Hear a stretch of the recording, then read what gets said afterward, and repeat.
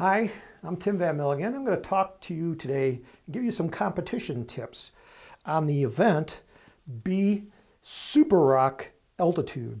Now, this is uh, an altitude event, so you want to go as high as possible.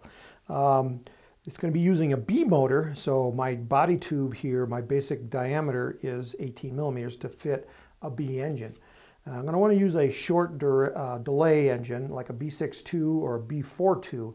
A B4 is actually a little bit better. Sometimes they're a little harder to find. Um, it's better because it uh, launches the rocket slower, so there's not as much stress on the rocket. Now, this is a structural event, which means that the object is to keep your rocket intact while it's going up. Uh, because the rocket is so long, um, it becomes kind of like a noodle and noodles are very hard to fly. Um, it's easier to pull a noodle than push a noodle. And we're going to be pushing the noodle in this event. Um, what I'm doing now is uh, taking the shock cord, putting it together so you can kind of see how long this rocket is. Now the event calls for the rocket to be a minimum of 100 centimeters and a maximum of 200 centimeters or 2 meters. Uh, now you can be longer than that, but you don't get any extra points. And the points are the altitude of the rocket in meters um, plus the length of it in centimeters. And that gives you your total score. Or is it multiplied? It's, you know, you want a long rocket. Um, you can see I have my rocket in sections um, because it's such a long rocket that um, getting it to the launch field can be kind of difficult. So I made mine to break into different parts. And you want to minimize the weight because this is an altitude event. Weight is your enemy here. Um, so you go, you start with a big tube on the bottom for your motor and then progressively get smaller. And if you can find smaller tubes, go smaller because that's going to minimize your weight.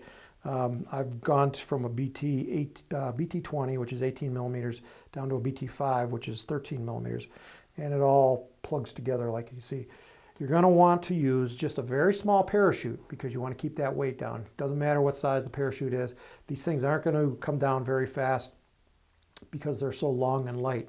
Uh, typically, they'll start gliding on you. Um, you can't kink your rocket going up. Once you hit apogee and it deploys, you can kink. And you can, um, in, in the altitude event, you can also separate into multiple pieces. Um, you probably want to keep it together though, just um, make, make recovery a little bit easier. If it was a duration event, everything has to stay together, but in altitude, it can come down in, in multiple parts. Um, so that is the basic um, strategy for this event. It's a, it's a pretty easy event, um, but what makes it difficult is the long tube.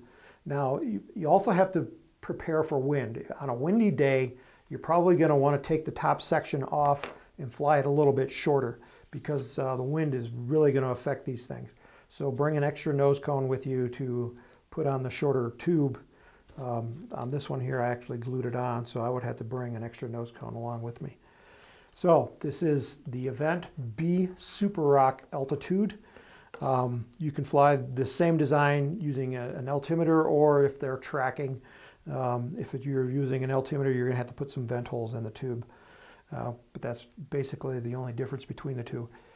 Uh, my name is Tim Van Milligan. This is the uh, Rocketry Competition Tips, and my website is www.apogeerockets.com.